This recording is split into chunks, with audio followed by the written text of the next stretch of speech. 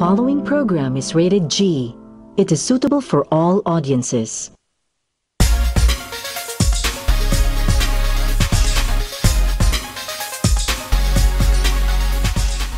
Viewers, I am Janryl V. Caldino, grade 11 STEM A from Bacolod City National High School Senior High, Bacolod City National High School, Negros Occidental, Philippines. In this tutorial, I will teach you how power is used in derivatives. So first, let's, de- let's define derivatives. Derivatives is defined in two different ways. First, it is a geometrical as a slope of a curve. Second, or the other way is mm, physical as a rate of change. But we don't furtherly explain the derivatives, but we only focus on the power rule. So the power rule is fairly simple rule that helps find the derivatives of a variable to a, to a power. So this is d of x raised to n with respect to the x is equal to nx raised to n minus 1. So here are some examples of the power rule in derivatives. So example number one is 7x raised to 5. All you want to do is take down the exponent, then multiply it to the coefficient of x, then decrease 1 to the exponent. And second step is to simplify it. So the answer is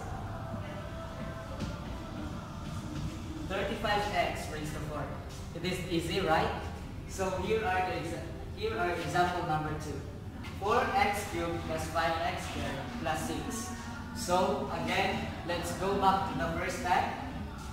Take down the exponent 3 times the coefficient of x 4x then decrease 1 to the exponent.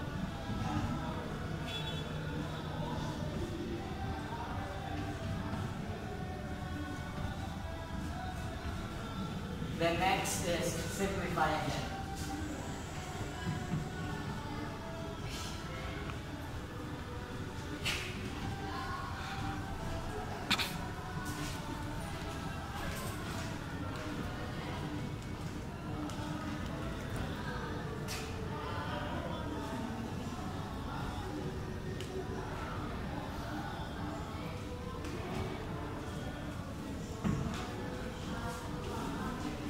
Answer number 2 is 12x squared plus 10x.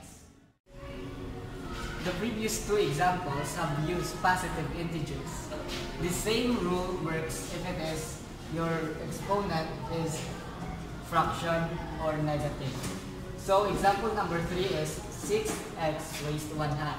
So in the previous steps, first is copy the exponent, multiply it to the coefficient 6x, then subtract 1 to the exponent.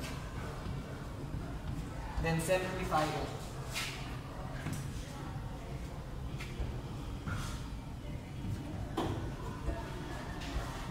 This is not yet the simplest form because your x is raised to a negative number. So all you want to do is put down your x to the denominator to make positive exponent. This would become 3 over x raised 1 half or 3 over square root of x. So example number 4, 2x raised to negative 3. Again, take down the exponent, multiply to the coefficient of 2, then copy x, subtract 1 to the exponent. So negative 3 minus 1, simplify, negative 6 x raised to negative 4, then negative 6 over x raised to 4. That is your final. That's all for today. Thank you for watching my video. I hope you learned and understand. Bye-bye.